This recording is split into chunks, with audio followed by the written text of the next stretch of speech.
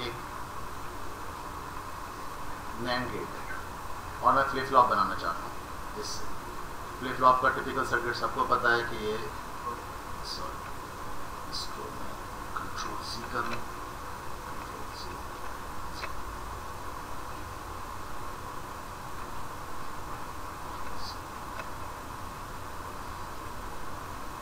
ये typical circuit हो by default इसे हाई रहना चाहिए।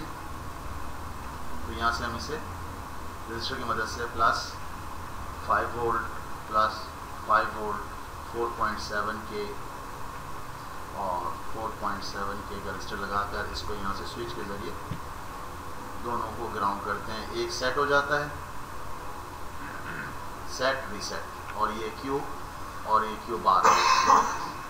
तो अगर मैं इसको फ्लोटिंग छोड़ दूँगा तो टी इनपुट जो है फ्लोटिंग में कुछ भी ले सकती है तो यहाँ पर फ्लोट नहीं रहना चाहिए।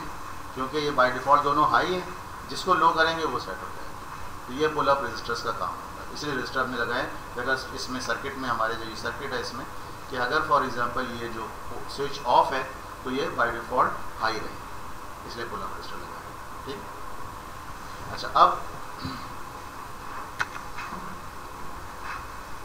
हम जो करने जा रहे हैं कि हमारे पास एक सॉफ्टवेयर है